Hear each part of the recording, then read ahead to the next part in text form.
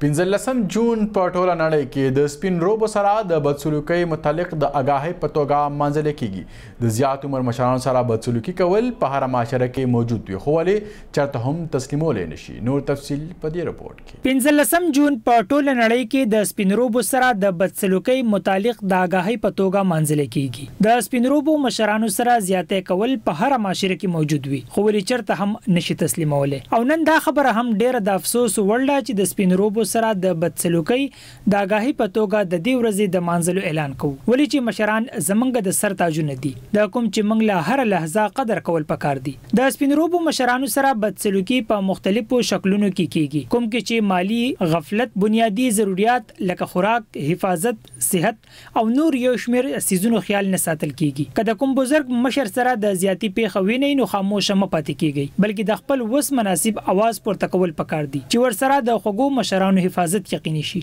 د سپين روبو سره د بد سلوکۍ ورځ په ړومبي ځل په کال دوه زره شپږ کي مانځلي شوي وه د اقوام متحده جنرل اسمبلۍ په خپل يو قرارداد کي ويلي وو چي پنځلسم جون به په ټوله نړۍ کي د زيات عمر مشرانو سره د يووالي په توګه مانځلي کيږي. او دوی سره به هیڅ قسم زیاتی نشي برداشت کولی. اقوام متحده نړیوال پلان آف اکشن بزرګانو سره زیاتی او بدسلوکي د انساني حقوقو مسله ګڼلي وه. د یوې اندازې مطابق د کال له دوه زره دېرش پورې به په پوره نړۍ کې د سپین روبو شمیره یو اعشاریه څلور بیلین ته ورسي او د یو تحقیق تر مخه د څلور نه تر شپږ فیصده پورې به دغه مشران د څه نه څه زیاتي سره مخ وي. له بده مرغه نن هم زمونږ په معاشره کې ځینې داسې بدبخته زامن، ځوانان، شته کوم چې هر وخت دغه خوږو مشرانو سره بدتمیزي کوي کوم چې ځان لپاره فصل تیاروي او هم سبا به د هغوی ماشومان دوی سره داسې سلوک کوي.